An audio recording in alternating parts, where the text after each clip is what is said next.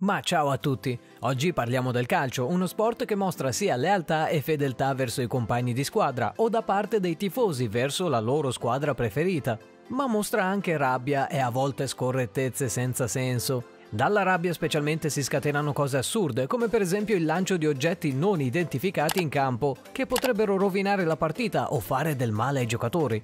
Oggi andremo a vedere proprio gli oggetti più strani mai lanciati su un campo da calcio. Ovviamente ricordatevi prima di fare un saltino sulla pagina di gaming del canale per scoprire tante altre top, ma stavolta sul mondo del gaming.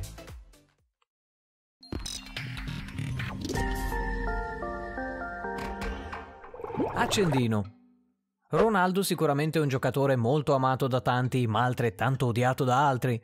Un fatto alquanto scorretto è successo durante la partita tra Real Madrid e l'Atletico Madrid, durante la Coppa del Re del 2014. Ormai Real aveva la partita in mano grazie alla doppietta di Ronaldo e mentre stava andando in pausa per il secondo tempo, un tifoso, che a quanto pare a colazione aveva mangiato troppa rabbia, gli ha lanciato un accendino in testa. Fortunatamente nessuno si è fatto male e Cristiano si è giocato altri 30 minuti il secondo tempo prima di essere sostituito per farlo riposare. Anzi, qualcuno si è fatto male e penso sia il tifoso Lancia Accendini, perché è stato individuato subito dalla sicurezza. Troppi palloni.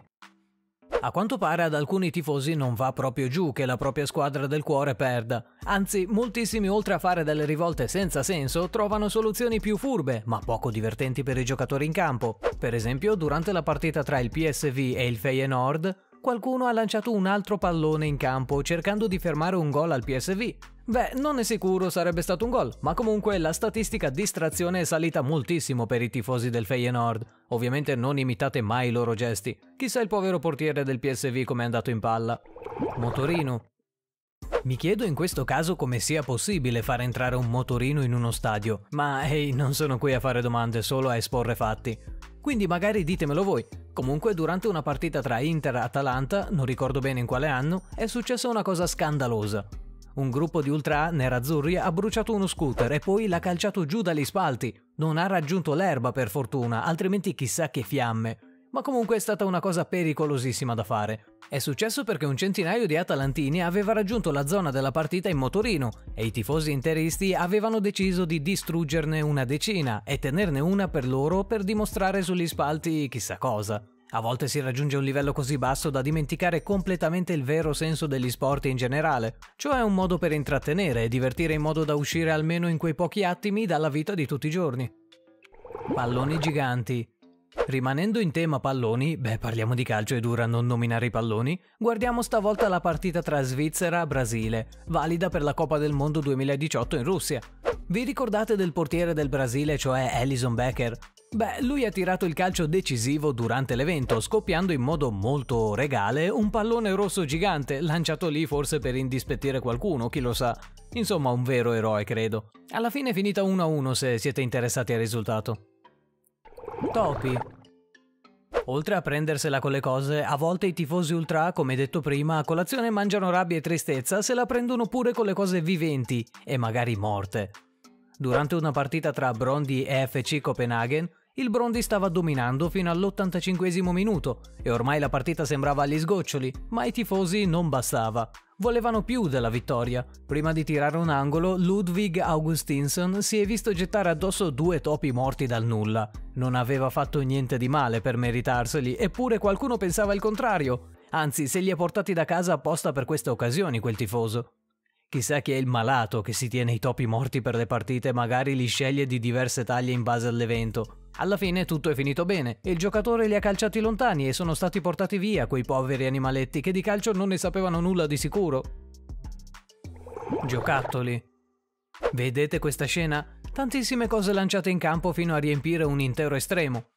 A prima vista potrebbe sembrare vandalismo, invece non lo è per niente. Non è una brutta cosa, anzi stavolta si parla di un gesto davvero bello. Prima della partita tra Charleroi e Ostende, non so se l'ho pronunciato giusto, ai tifosi era stato chiesto di portare dei giocattoli da donare ai bambini meno fortunati, come regali di Natale, ed è stato un vero successo. A tutti piace lanciare le cose e a tanti piace donare, quindi due piccioni con una fava. Anzi, il calcio di inizio è stato rimandato di un bel po' perché erano davvero tanti i giocattoli e bisognava sgomberare il campo. Bambole. Finora abbiamo visto davvero tante cose assurde e a quanto pare non è finita.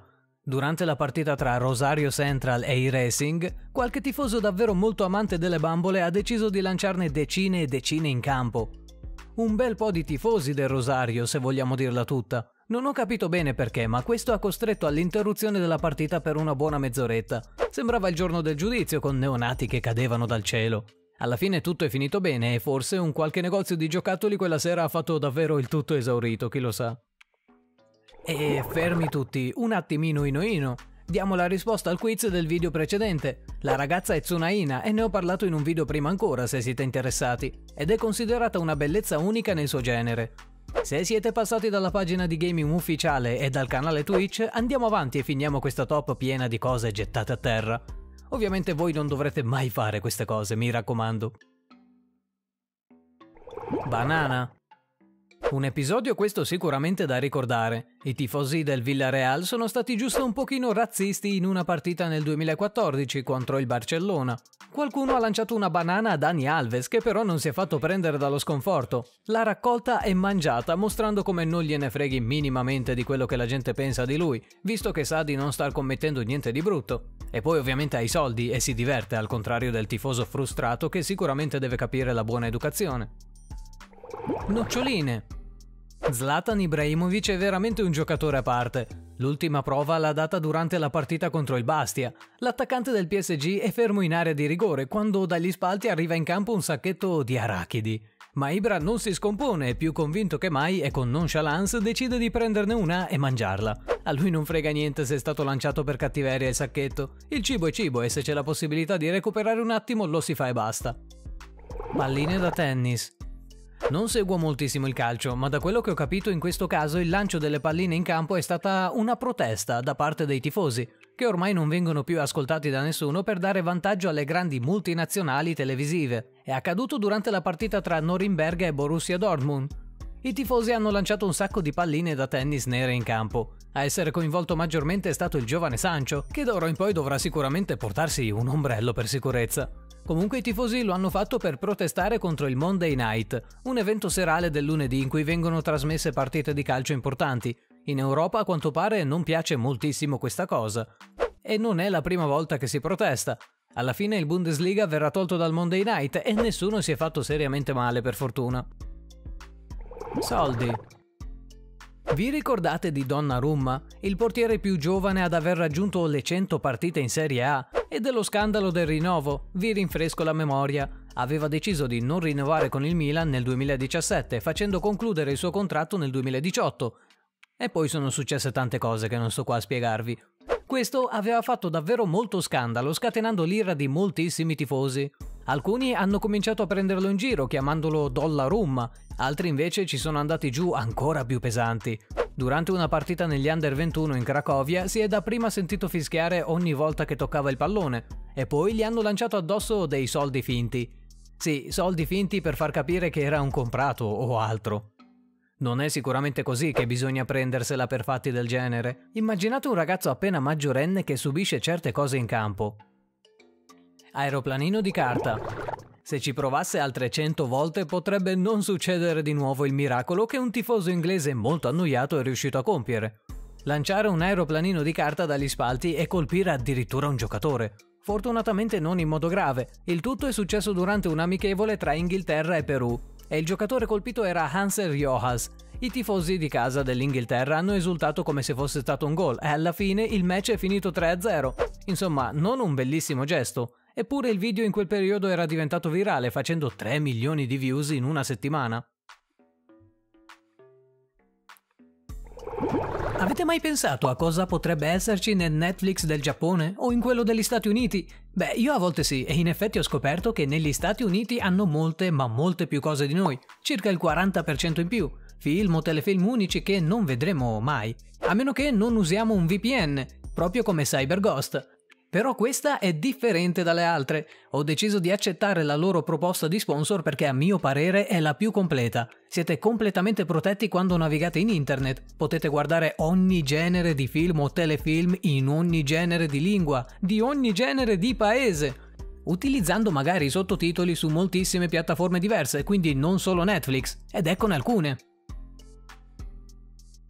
L'applicazione di CyberGhost è disponibile per Windows, Mac, iOS, Android, Amazon Fire Stick, Linux e altri ancora. E con un solo account potrete proteggere 7 dispositivi diversi. Se volete provare almeno una volta l'ebbrezza di essere i primi a vedere un film che in Italia magari uscirà l'anno prossimo, iscrivetevi utilizzando il codice che vi lascio in descrizione, così da pagare solo 2 euro al mese, il miglior prezzo finora sul mercato, e nel caso non siate contenti entro 45 giorni potrete chiedere la restituzione del vostro denaro. E ovviamente l'assistenza clienti è disponibile per ogni problema di configurazione, 24 ore su 24, 7 giorni su 7 e in 4 lingue diverse.